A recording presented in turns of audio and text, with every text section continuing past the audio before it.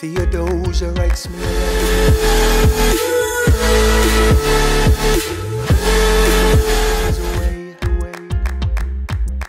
He's on the British side in Georgia.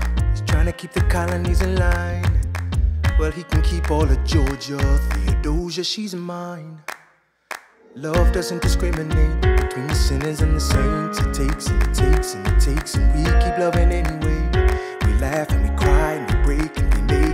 make our if there's a reason I'm by her side when so many have tried, then I'm willing to wait for it. I'm willing to wait for it, wait for it, wait for it, wait for it. My grandfather was a fire and brimstone preacher. Preacher, preacher, preacher.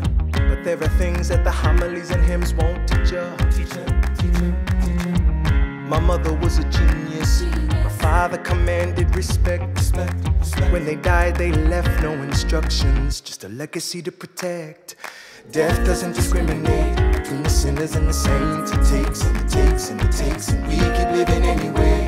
We rise and we fall and we break and we make our mistakes. And if there's a reason I'm still alive when everyone who loves me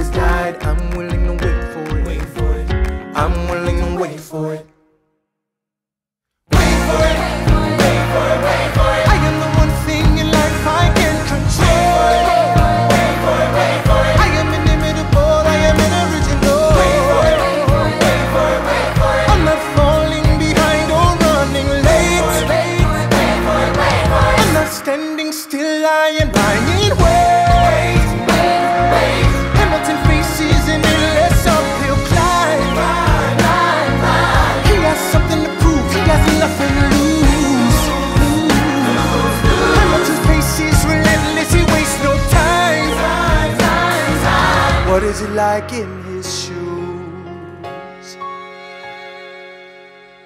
Hamilton doesn't hesitate. He exhibits no restraint. Takes and he takes and he takes and he keeps winning anyway. Changes the game, plays and he raises the stakes. And if there's a reason he seems to thrive and so few survive, then goddamn it, I'm willing